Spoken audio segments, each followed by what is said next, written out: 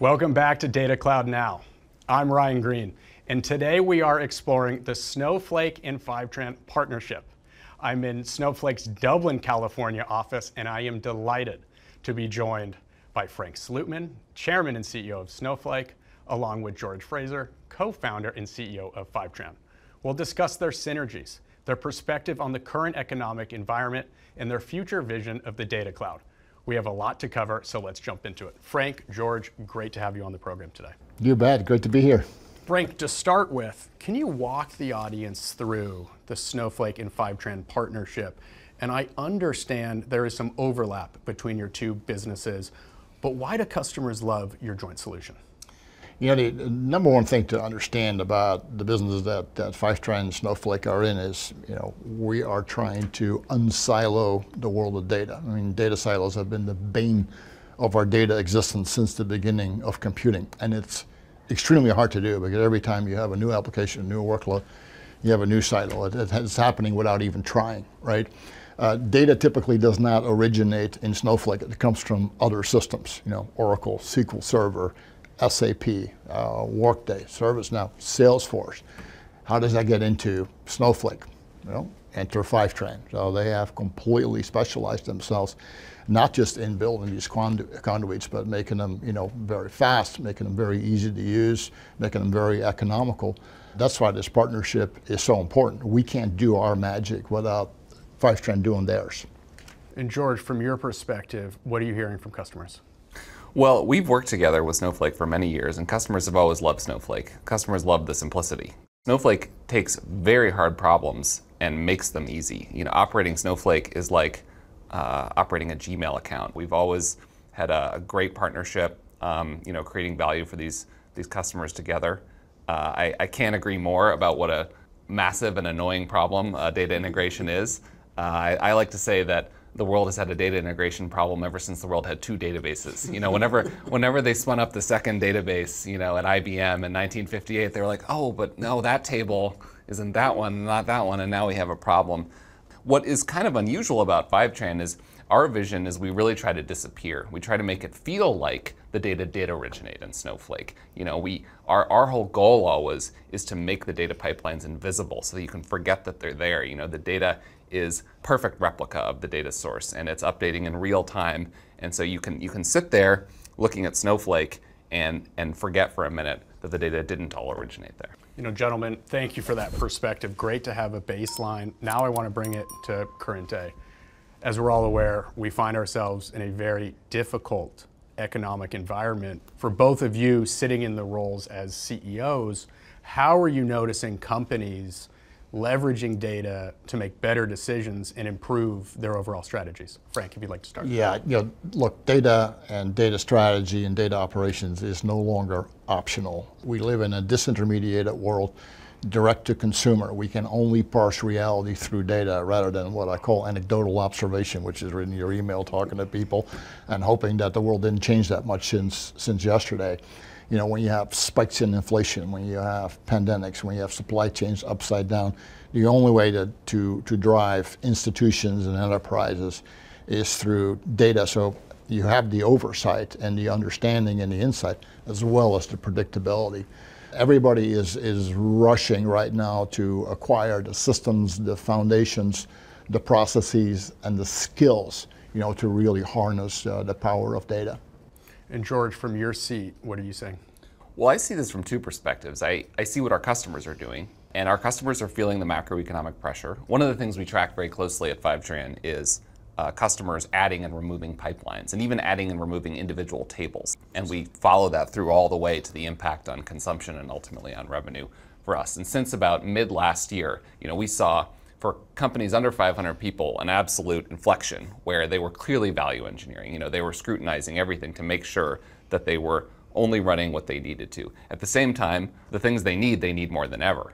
Uh, the uh, the importance of data takes on a whole new importance in, in tough times right. and in trying to understand what's really happening and, and what's really working, what's not working, where you're spending money that it, it has ROI. And that's the other perspective I look at this from is as a CEO of a company trying to use data to navigate these conditions. And, and we have a whole new zeal in the last year at Fivetran for um, looking at the uh, data we have and looking at it in the right way to really understand what is happening of what we are doing, what is working, what is getting better, what is getting worse.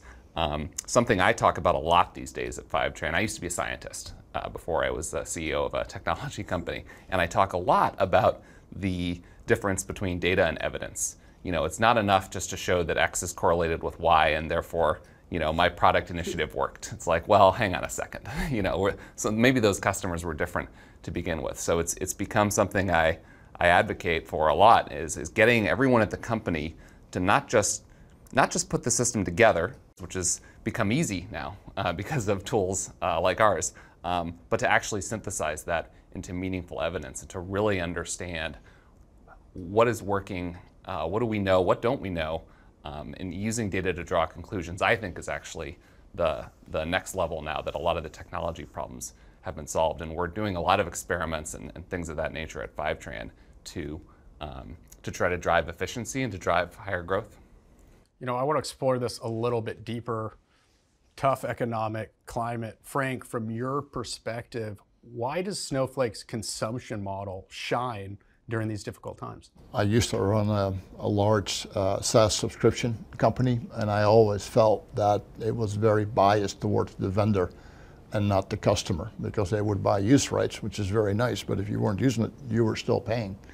And I always felt that was an imbalance in the relationship between the software company and, and the people that bought it.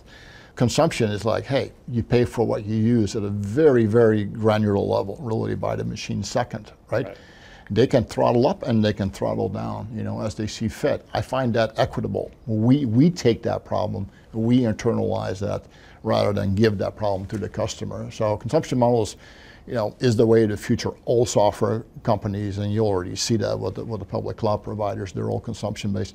This is the way everybody will end up in the, in the fullness of time. You know.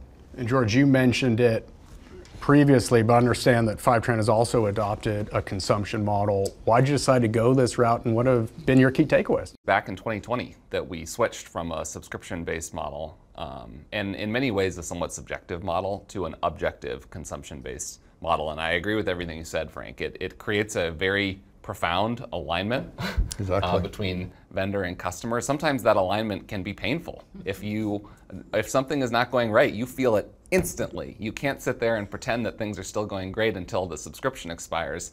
Uh, which you know the customer stopped using six months ago. I think it's ultimately to the benefit of everyone, and that's part of the reason we adopted uh, consumption-based pricing back in 2020. Snowflake has really been a pioneer in consumption-based pricing. You know, the consumption-based pricing, um, Snowflake was not the first to do it, but uh, Snowflake has done it in a more granular way than I think anybody else. And, and Fivetran's original, uh, when we moved to consumption-based pricing, our, our model was based on uh, Snowflake's consumption-based pricing. Uh, there are still cases today where, you know, a price will come out for a customer and I will look at it and go, boy, that does not make sense. So it's not, it's not perfect, um, but it's, uh, it's, it's served us well. Uh, and, I, and it does create that, that great alignment between vendor and customer that I think is so powerful.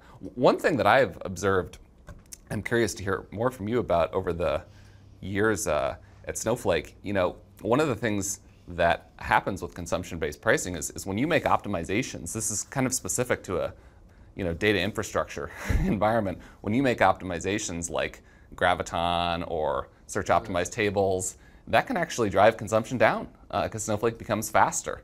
Uh, I think this, is, this really doesn't get talked about enough, but there have been a lot of these over the years. I'm curious, that there's a perverse incentive there, and that must be a challenge to navigate internally and, and externally. Yeah, being a public company, uh, we've actually uh, you know felt the brunt of that because we uh, relentlessly and consistently and methodically over time optimize both the compute side as well as the storage side of the equation. People are getting discounts from us all the time. Unfortunately, they don't always realize it the financial community is like, hey, how is this a good thing for investors? Well, look, we're guided by what's good for customers first, okay? and uh, you're going to have to learn to live with that, you know, that people are going to get way more bang for their buck every year. And I think, again, it's fantastic, right? Because we, we deliver these discounts to customers without them even having to realize it or do anything.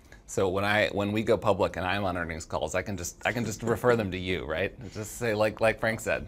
the financial community will uh, you know will never be totally happy because of course they like models that are biased towards the vendor because that's who they're investing in. But you know our customer relationships you know uh, really trump you know the investor relationship. It has to be that way. You know. We've covered a lot. Great to hear your perspective on the partnership, your current perspective on the difficult economic environment. Now I want to look towards the future. How do you see Fivetran and Snowflake accelerating the data cloud vision? And how important will ease of use and lack of complexity be in the years to come? I'll emphasize one vector of, uh, of that, and George, I'm sure, will, will have you know many others. But some of the problems that we've been solving together is to, is to massively speed up cycle time, right? And people want to report yesterday's news in a timely manner, not two days later, right? Um, you know, so like customers like Pitney Bowes, you know, we went from 31 hours to two hours to be able to accomplish this across all their different operating units, all the different data formats, all the different feeds, right? And this is where, you know, where Fivetran has been really instrumental. But where's, where's the world going? To real time, or what we like to call it near real time, because nothing is ever real time. So in other words, you know, we're updating constantly, right? And it becomes sub-second, microseconds, milliseconds. And that's very interesting, right? Because we can now react to things that we see in the data, you know, in, in near real time. Our world has been very, very batch oriented historically. That is changing. And, you know, Fivetran, you know, is, is helping enable that change to con continuous streaming, ingest, and transformation of data. And that's a big change for the world, you know. Yeah, I, I completely agree with that. Uh, reducing latency is a huge priority. I actually have a meeting with uh, some people on the product team at Snowflake this afternoon. Uh, Very timely, George. Aligning uh, some details deep in the weeds, making sure that we're we're sort of skating together so that uh, the the things that we're working on and the things that Snowflake is working on that will result in customers being able to get you know 10 seconds latency out of a data source like Oracle or HANA which has challenges at every single stage in order to achieve that, to make sure that that is ultimately possible. Um, so I, I, think latency is a huge priority uh, for, for both of us. Scale is a huge priority.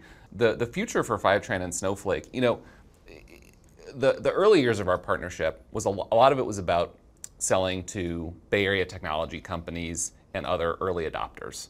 And Snowflake was always a couple years ahead of Fivetran in terms of penetrating the market. And so we work together a lot with the commercial team at Snowflake.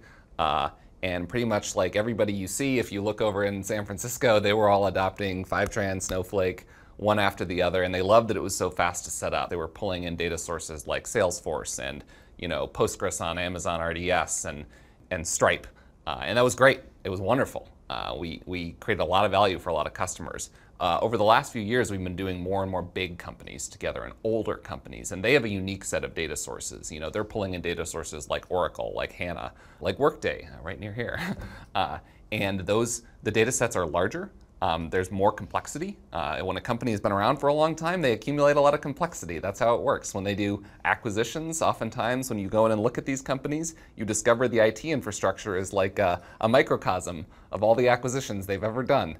Uh, and so the challenges are greater, but, but the value to be unlocked uh, is, is greater. And so if you look at a lot of the stuff we're doing today, you know, with customers like Thomson Reuters pulling in HANA data and uh, Oracle data and, and trying to achieve these super low latencies despite these absolutely huge data volumes and do it all without exploding the ingest costs in, inside of Snowflake. It's, it's very challenging, but those challenges are, are, are exciting and there's so much there's so much great value to be unlocked. So that's that's what we're working on together. I'm particularly excited in particular about hana as a data source. Yeah. uh, hana I, am uh, and sap in general i'm sort of obsessed with. It's something that i think the average person doesn't know a lot about um, but sap is so big. Sap is behind the scenes of so many big companies. You know if you just like walk around the world uh, you look at a uh, you know, toothpaste on the shelf at the grocery store, that probably is tracked in SAP system.